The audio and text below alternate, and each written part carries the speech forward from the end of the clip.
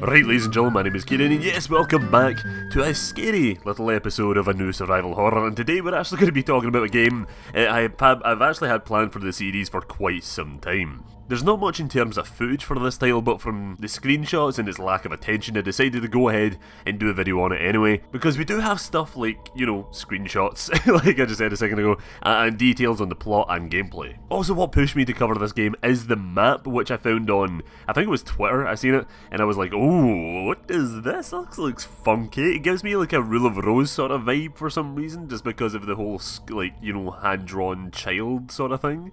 It, it looked so cool, I'll have it on the screen at the moment. Anyway, welcome to a little game called Summerford, an upcoming survival horror title being developed by Nosy Valley Studios. This studio comprises of three people, that being the former EA marketing Rob Clarke and his wife and nephew. So it's like a nice wee family project. The game has also not really been in development for that long, with production only starting like, what, back in January this year? But still, I will be diving straight into it because it does look interesting, and if you're a fan of classic survival horror, then Summerford is a game that you should definitely keep your eye on. So let's enter the survival horror, starting with, you guessed it, the story.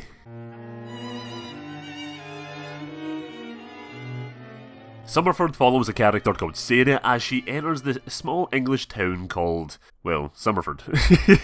says, says in the name. Back in 1963, the village was selected to be the site of the UK's first nuclear power facility and nuclear energy laboratory. 23 years later, the facility suffered a catastrophic reactor failure, causing radioactive fallout to spill across Summerford and the surrounding countryside. This forced the government to evacuate thousands and declare a permanent 10 kilometre exclusion zone as, you know, this area basically turned into the next Chernobyl. 37 years have passed since this event and no civilian has been able to access the exclusion zone. Until now. I always love it when they always add a until now sort of part to sentences when. So the main takeaway from this game is basically don't be a cocky little cunt and enter a radiation zone because you'll end up with either a serious illness and there is also that tiny chance. In real life, obviously, it's tiny, but in games, it's massive. Uh, you might be attacked by a mutated monster, so yeah, there's that.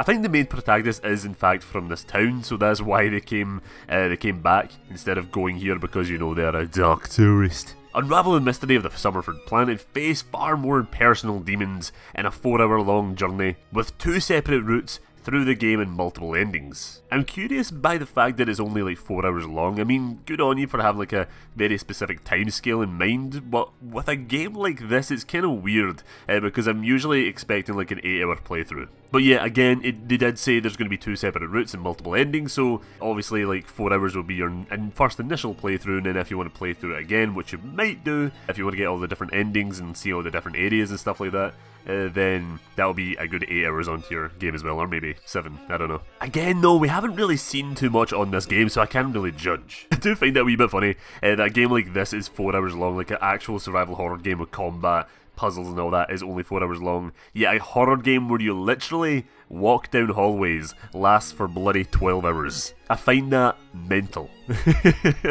Summerford definitely gives me like a Silent Hill vibe with the visual style, but for some reason it actually does remind me of this weird narrative game that I played years ago called Everybody's Gone to the Rapture. That game didn't really have me, I'll be honest. It didn't really, it didn't really, you know, entice me to go back to it once I played it. But the reason why I'm sort of comparing it to this is because it is set in like an abandoned countryside English town. But you know, less radiated. Obviously, you know, in Summerford it'll be a lot more fucked up, but I can imagine I'm gonna get like the same feels as I did with this one. I don't know, there's always that certain feeling you get when you're in that sort of countryside English town. I don't know what it is. I think it's just peaceful.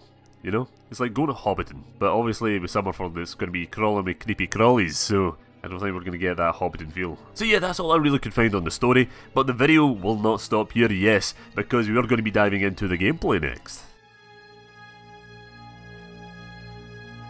Summerford aspires to be a pure classic survival horror game, something like you would see usually back in the good old PS2 days. That means fully expect limited combat, exploration, puzzles, and even fixed camera angles. At first I was really unsure about the fixed cameras because like there were some screenshots where it actually showed a more traditional third person perspective but it was later confirmed in like a devlog on Steam that it is definitely fixed camera angles. They were just kind of like messing around with it in development so okay that's cool. Now, I have been playing Injection Pi 23, uh, but I, by the way, if you haven't played that game, you should definitely go check it out. It's on PlayStation Store. It's only on Europe PlayStation Store, it's not on the US, but you know, I can get into that in another video.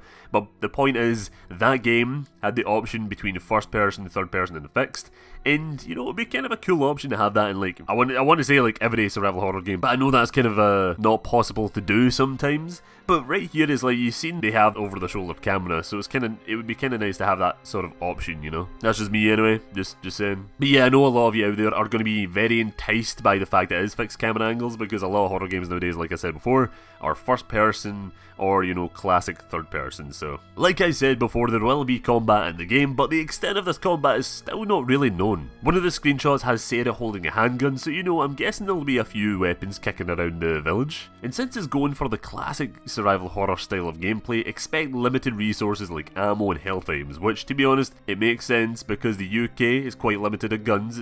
Guns are definitely 100% more difficult to obtain over here than the US, so like, you know, stumbling upon like a mass amount of ammo is not gonna happen or like stumbling across like a fucking AR-15, that's just not gonna happen either. Unless Summerford has like an army base, but you know, I, I, doubt it. Now we don't have the names of what we're gonna be struggling against in Summerford, but we do have this concept image that kind of gives us an idea. It seems like enemies are going to be like irradiated sort of zombies, but have like fungus and mushrooms growing from them. A clear comparison that I can actually make here is with the clickers from Last of Us, which did the whole like zombies embracing nature thing really well. When I just said, sorry, like, when I wrote this down, I'm like, yeah, zombies embracing nature. It just kind of reminds you like zombie hippies or something like that. Players will have a basic inventory system and things like that to help them survive in the town, but my curiosity is kind of leaning towards the puzzle side of things. Obviously, you can't give away too much details on the puzzles, or else it would just kind of ruin some of the puzzles in the game, but it would be nice to see some gameplay or just screenshots on a puzzle that's being worked on to just give us an idea of what we're going to be dealing with. Again guys, I do really apologise for the lack of details in this video, but this video was really meant to just kind of get this game more known to the public and let everyone know that it's actually in development. That's that's the entire point to the series as well, because like I feel like most of these games just kind of disappear into the background and are rarely talked about because they are not that well known or you know they just are overshadowed by shit like Visage or Amnesia, you know, all these walking simulator games, they always overshadow these little guys. By the way, I'm not saying like Visage is uh, shit or anything, it's actually, I find it look, it looks like a really cool game.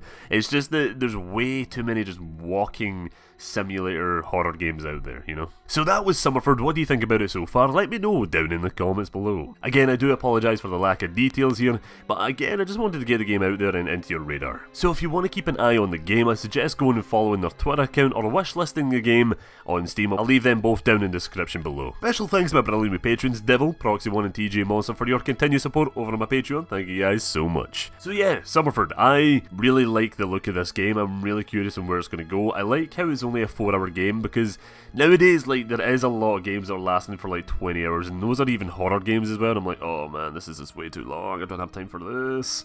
But so it's nice to have like this little short experience I can like just dive into. And then if I want to dive into it again, then I'll dive into it for the second playthrough. And also, it seems like a really nice like stream game as well. Like a four hours for a stream, like that seems like a good little length there. So when this game comes out, I'm definitely going to be streaming it. 100%. But yeah, overall, yeah, the game looks cool. I like it. I dig it. Oh yeah, by the way guys, yes, we are leading into E3, so if you're watching this now, uh, I'm probably streaming live over on my Twitch, you should go check that out because I'm going to be reacting to the Xbox Game Conference. Uh, then throughout the E3 week, I'm going to be uploading so many videos. I think I'm going to be doing one a day, which is going to be absolutely mental, and I'm going to be exhausted by the end of it, but it's fine, it's all good, don't worry about it. But anyway guys, thank you so much for watching the video, and I shall see you all later. Bye-bye.